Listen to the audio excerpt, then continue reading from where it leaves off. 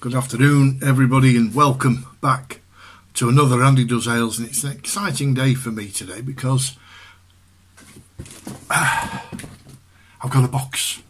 Now, you might know the logo on there. Hmm, keep you guessing for a minute. I was watching the one minute beer one minute beer review, Dan, and he had a beer from this, and he, he highly recommended this brewery. So I thought I'll have a look at him, and there was a beer there that really caught my eye. So I'm hoping that it's inside here. Uh, bear with me a minute. Ooh, there we go. There's there's a what's it? Oh, scissors again. It's a big box. There's only four beers in it. Well, there you go. What we got? Where is it? Where is it? There it is. That's the one I'm going to do now. Right. What else have we got in here?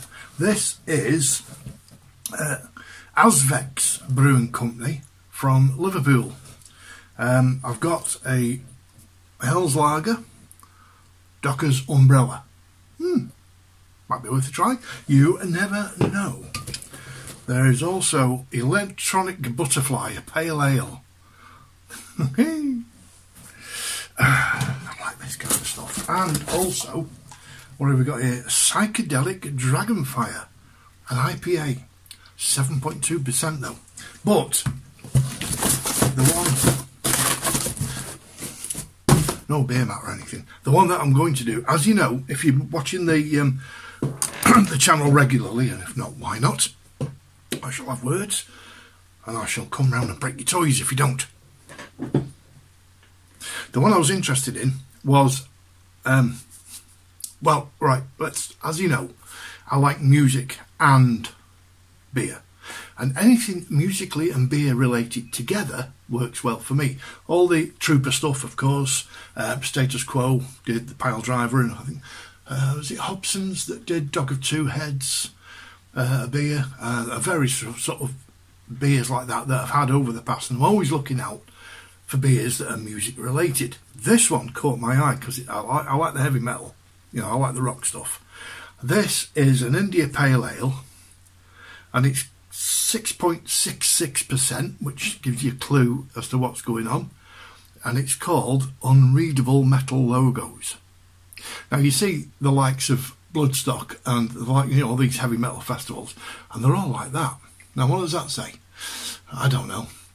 Uh, there's two on the side there. No idea. Uh, you get the gist, don't you? Unreadable metal logos from Azvex Brewing Company in Liverpool. At 6.66% though. oh, yes. Um, and also, in relation to that, in the latest beer magazine from CAMRA, we have heavy metal drinking. So there's there's a few there that I'm going to have a look at or find. So if you know of any other as you, uh, brews that I might enjoy, you know, write them in the comments and I'll, I'll look out for them. And as you know, of course, me being in a band called Out of Order, we've got a black IPA called out of order because it's black and pale, which is out of order. You see where I'm getting from? Jumping on the bandwagon. so, unreadable metal logos, an India Pale Ale. Is it going to be an undrinkable ale? Let's crack it open and have a look before I start waffling too much. Here we go, IPA, 6.66%. I don't know how they get it that accurate, but I like it it's good. It's a hazy, so it's coming out sort of yellow, orange juice. Um, but I can smell it from here and it smells brilliant. Unreadable metal logos, can you see that? Just about, yeah. See, there you go, right, it's orange juice. For me to enjoy it properly, it's got to look like a beer, Azvex. Some of the other ones are like it, it's very, very, very, very, very, very, very, very citrusy. That is a that is a massive citrus hit. That is wow. But anyway, here goes to everything that's unreadable.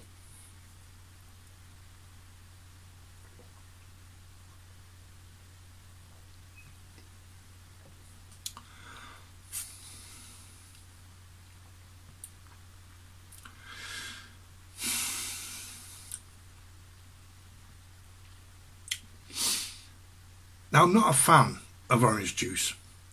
I, you can get the alcoholic hit with that. That is that is powerful stuff. But it doesn't taste like a beer. I'm getting a very very bitter orangey back taste.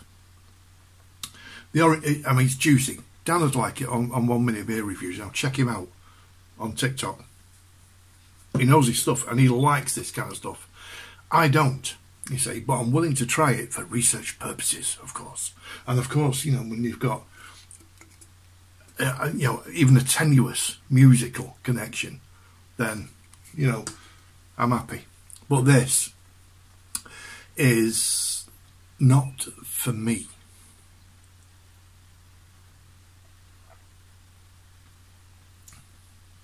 It's too juicy, too orangey, not beery enough and quite bitter. So, you know, I don't mind taking one for the team. There's, I'm going to be an odd beer that I don't like, especially if Vic buys it. But there you go. There you go. That, that's different. I've inflicted this on myself. So it's, it's I've got one for me, Vic. um, it's not my kind of beer. I probably wouldn't have it again. But, you know, that's the chance you take sometimes, isn't it? Azvex Brewery uh, in Liverpool. Where are they? Yeah, definitely. Gibraltar Row. There you go. 6.6, but I do like, I, I like the can. I like the way they've done that, 6.66%, and, you know, that's that's cracking. Oh, pardon me, does make you burp, does the job, all you need. I will crack on with it, um, but I'll tell you, I won't enjoy it. Sorry, Azvex. Whoops. um, again, if you know of any beers that have musical connotations or are uh, like the Trooper beers, I can't think of the word now, you know, recommended by a band or done by a band, then please let me know and I'll look out for them and see if we can find them. Anyway, thanks for watching, folks. Nice to see you. Thanks for liking, subscribing, and all that malarkey. We do like it over here at uh, TLC Towers. That's Tower Lloyd Coles Towers to everybody else. And as Azvex, thanks very much. But for this one, no thanks. I'll try your others quite happily. We'll see what you make of them. Take care, everybody. And we'll see you all very, very soon indeed.